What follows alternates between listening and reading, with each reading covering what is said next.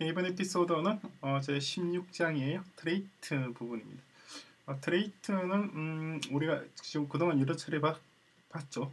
봤는데 어, 이전에 아마 Haskell 수업 공부를 하셨으면 이 trait에 대해서 쉽게 예, 접근을 음, 개념이 잡힐 거예요. 그리고 TypeScript에 지금 우리가 보고 있는 이 trait라고 하는 것들도 사실상 다 이런 형식 Haskell에서 기반하는 것들입니다.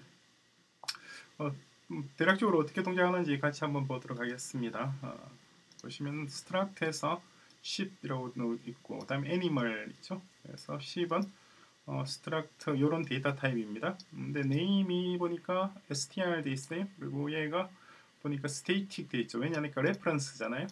reference니까 당연히 이, 그걸 지정해야 됩니다. 얼마나 얘가 수명이 얼마나 되는지를 지정해야 되는데 static 같은 경우에는 여기 굳이 타입을 이렇게 두고 static 이렇게 할 필요가 없습니다.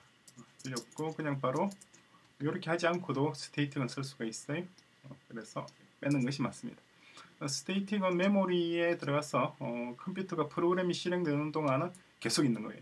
프로그램이 끝날리야지 어, 사라지는 것이 바로 static입니다. 굉장히 길죠. 그러니까 평생 가는 거예요. 그리고 trait에서 animal 했습니다. trait라고 하는 것은 우리 type class죠. Haskell의 type class하고 동일합니다. 그리고 어, TypeScript에서도 이 trait 개념이 적용이 됩니다. type class 어, type class이고 TS는 abstract class로 이렇게 쓰고 있죠. 어떻게 쓰이는지 보겠습니다. animal 해서 function을 어, method라고 해야 되나요? method가 하나, 둘, 세 개, 네 개가 있습니다.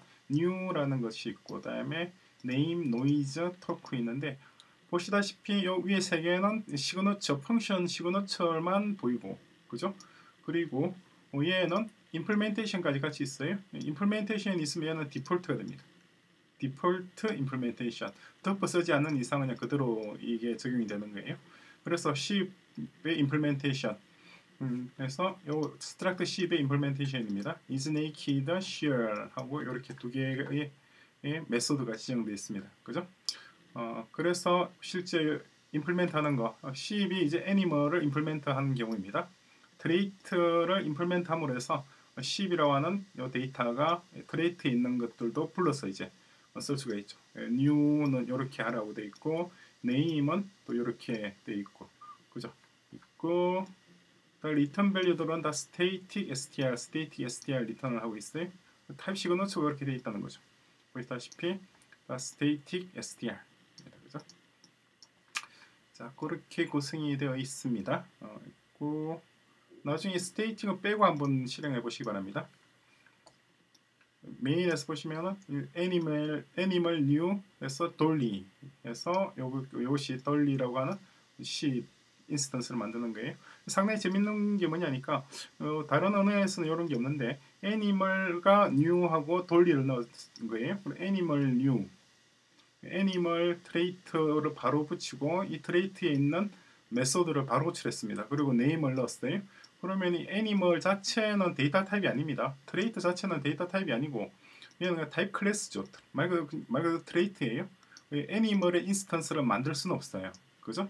그런데도 불구하고 이렇게 만들어냅니다. 어떻게 만들어내냐니까 Rust 컴파일러가 얘를 보고 하는 거예요. 뒤에. 그죠? 특이하죠. 어. 이걸 보고 만들 보통 다른 언어 같은 경우는 expression을 여기 expression이잖아요. expression이 return하는 value를 담기만 하는데 얘가 무엇을 return할지를 Rust 컴파일러가 얘를 보고 판단하는 거예요. 그죠? 얘를 보고 아하 return되는 것이 Sheep이라고 하는 struct를 return, return하는구나. instance 그죠?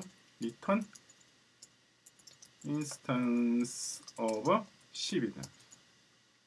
그죠? Sheep struct입니다. 그리고 담기는 거예요. 그리고 이렇게 하는 거나 그렇게 한 다음에 이제 Dolly talk Dolly shear 얘는 다 어디 있는 거예요? 10에 있는 메소드를 불러드립니다. 10 메소드. 그죠? 그러니까 이렇게 하는 거나 다르게 할 수도 있어요. 어떻게 하느냐니까 어, 요 여기를 빼버리고 그리고 10 new 이렇게 해도 됩니다. 이렇게 하더라도 똑같은 결과가 나오죠. 그죠? 요것과 요것은 같습니다. 자, 이것이 이제 trait가 동작하는 기본적인 메커니즘이고 그리고 Rust에서는 이 trait 개념을 굉장히 굉장히 많이 씁니다. 그리고 이러한 개념들은 다 Haskell 언어에서 왔다는 것도 여러분들 다 알고 이해를 하셔야 됩니다.